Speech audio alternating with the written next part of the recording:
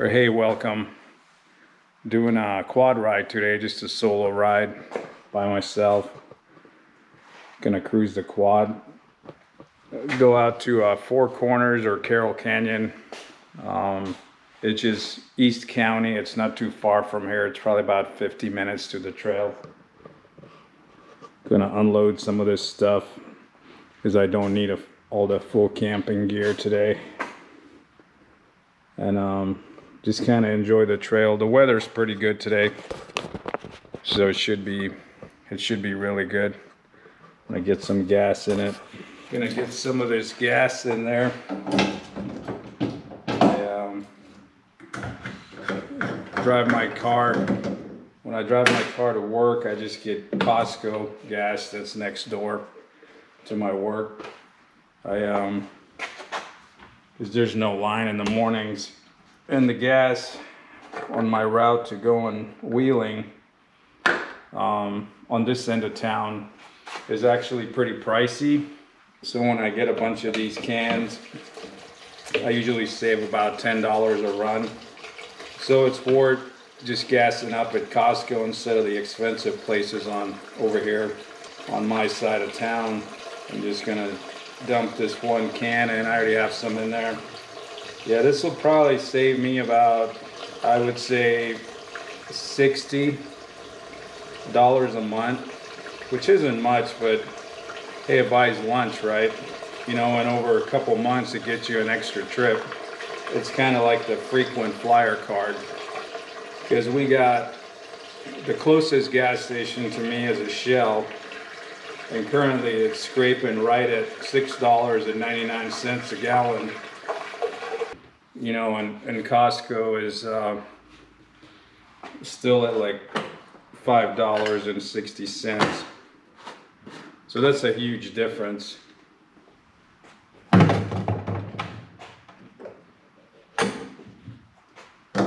So this will get me where I want to go today.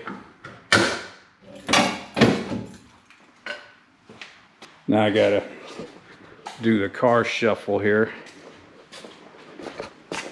this car out of here.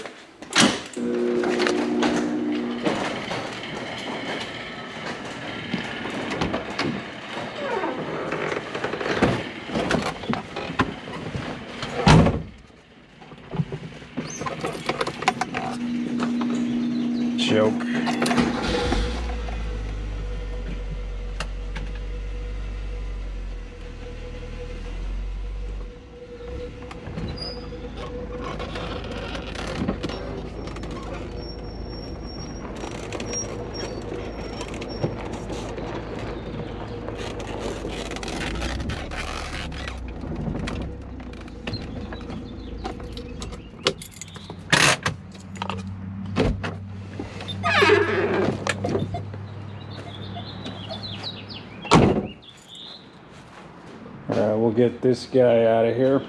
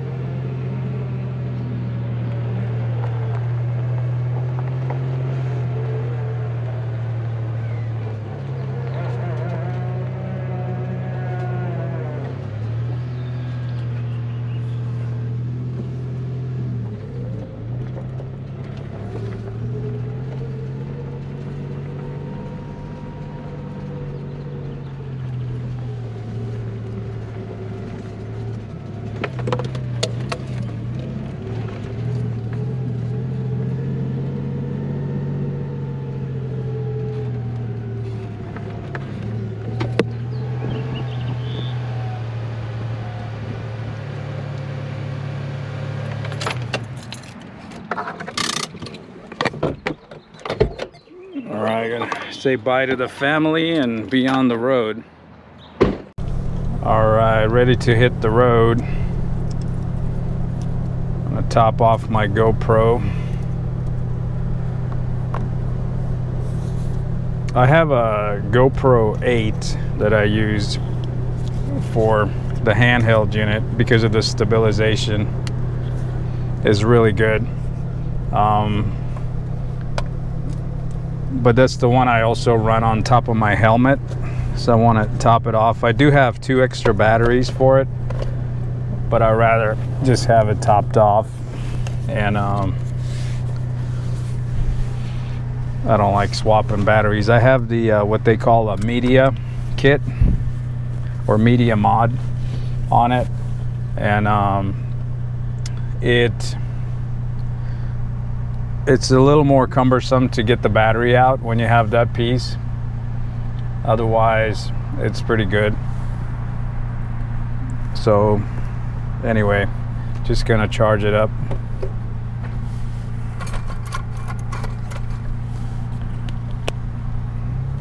All right, don't forget the parking brake. Get mosey on out of here.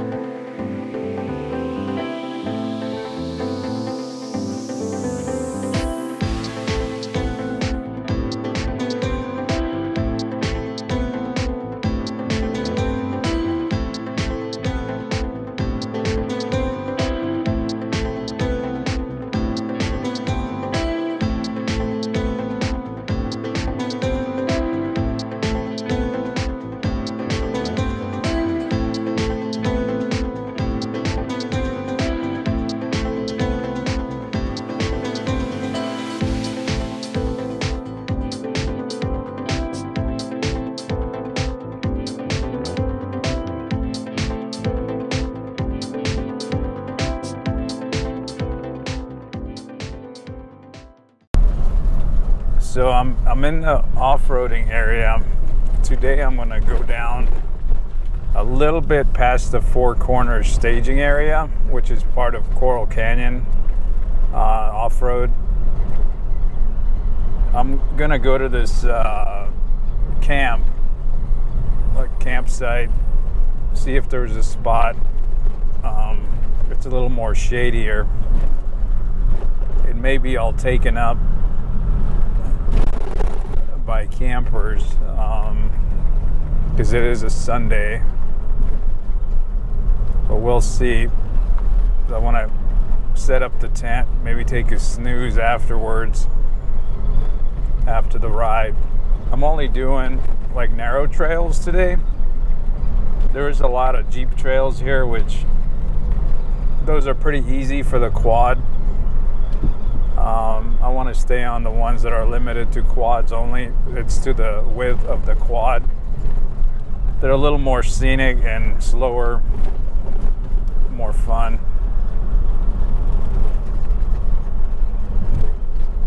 Kind of do use the quad for, you know, what it was intended to be used for instead of driving around Jeep roads purpose of the quad is I can get into really tight places and small on small trails and get to see a lot more. A lot of cool creeks and oases and things like that. Get into the more wooded area. Which a wooded area is a pretty big deal in, here in the desert because you don't get much shade. No matter all the rides that I do or all the weekends I do, they're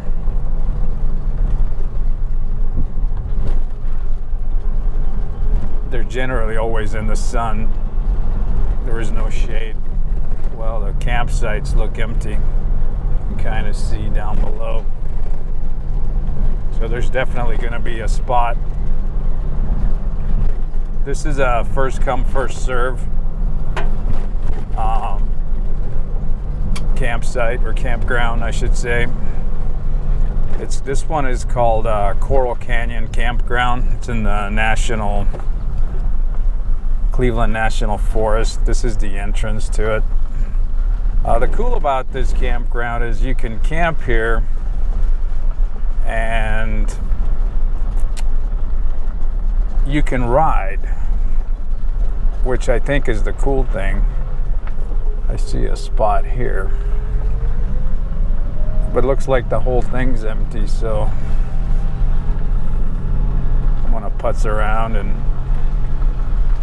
see if I can find one that's to my liking.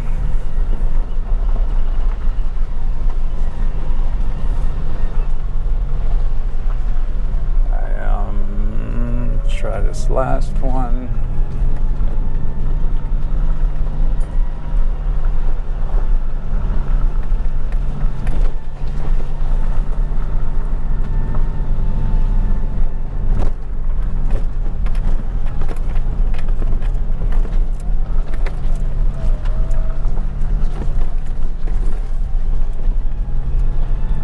Wow, it's completely empty.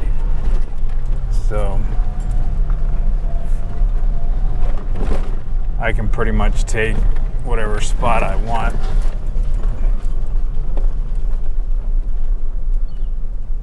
I'm gonna go down and find get that first shady one. How about that?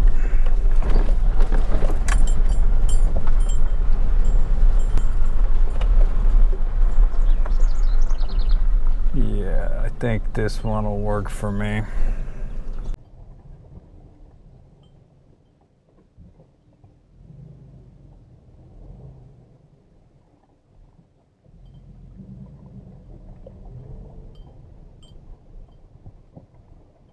So this is a camp spot. I'm just doing a, a day trip, so I'll only be here a few hours, but got a pretty good spot here. Get my quad off the truck and looks somewhat level.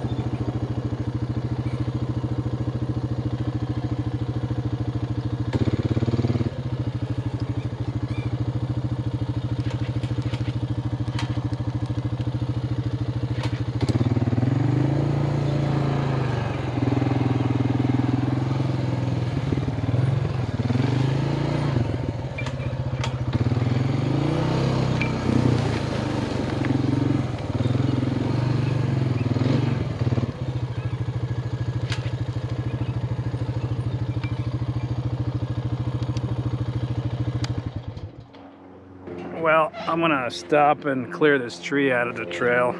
Kind of do my part.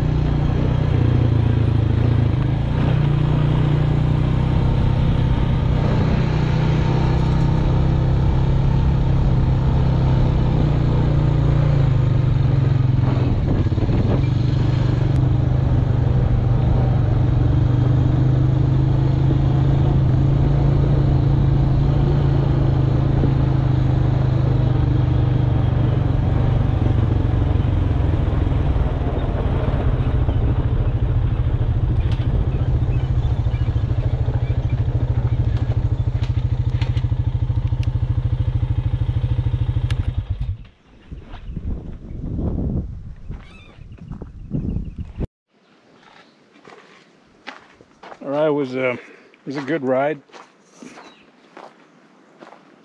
Did a little bit of a trail. I cleared a tree. Came across a tree that was blocking the trail, so I pulled it although my GoPro died halfway through. So I couldn't get the last part of it, but it was still good. I'm about to wrap it up and head back home. Finish some coffee. But this is the uh, the campground I was talking about. This is one of the spots over there. There's some toilets.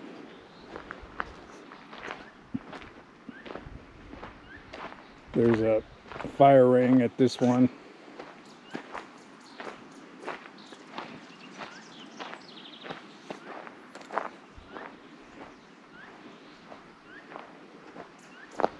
Would be a cool place to camp overnight. But um, I gotta head back home. But it was good. It was good to get out for the afternoon.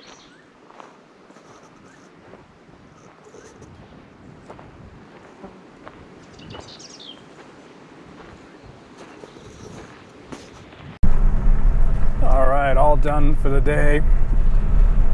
I'm um, packed it up, rolling back home. It's uh, about 3:30ish. I should be home by five, I'm guessing. But uh, it was a good little ride. A nice slack afternoon. The one trail was a little rough. Um, it's where I got I had to step off the quad and actually work work it. Um, wasn't anticipating that. I'm a little rusty. I haven't actually rode the quad as much as I would like to um, because when I built the truck, I was driving the truck a lot instead of actually driving the quad. But so I'm getting back into it, starting to sharpen up my skills. I took it anyway just to kind of stay current with my skills. Um, I have been on many black diamond trails on for the quads. If it says black diamond for quads, I've been on all those. Now, trails that are black diamond for a Jeep are actually very difficult on a quad. They're more difficult than a black diamond trail for a quad. It's because just the way the rocks are, the big boulders and things where a Jeep or a vehicle can cross it fairly easily or, you know, moderately with some skill and effort. The quad can't do it. If you have a giant, you know, like a seven foot, eight foot boulder, you can kind of nudge the Jeep to the side of it or something, but a quad, it can't straddle it, it's too small. So it's a completely different animal. So I try to stay away from black diamond Jeep trails with my quad. Um, I've done them in the past, but it was a lot of work and ultimately end up just turning around and going back. But um, I um,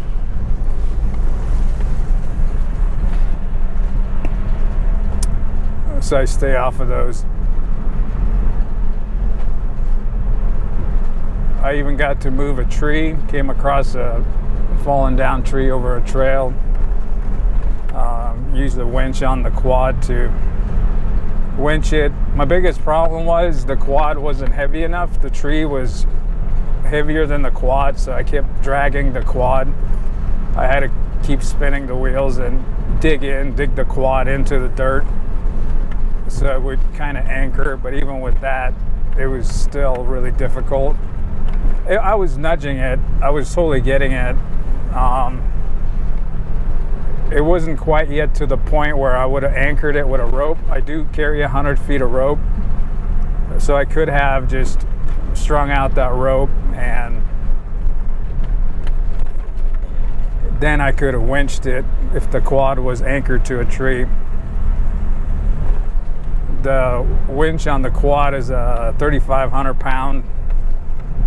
Um, so, you know, with a 450, let's say, you know, 800 with me on the quad at at uh, you know 200 some pounds. You know i do the math it's probably close to 700 pounds um, versus the 3500 pound winch. It's um, yeah the winch is gonna win the quad's gonna get dragged. So always if I'm trying to pull something big like a truck, I have actually in the past had to pull a truck out of the river and did it, but we had to anchor the, the quad to a tree. So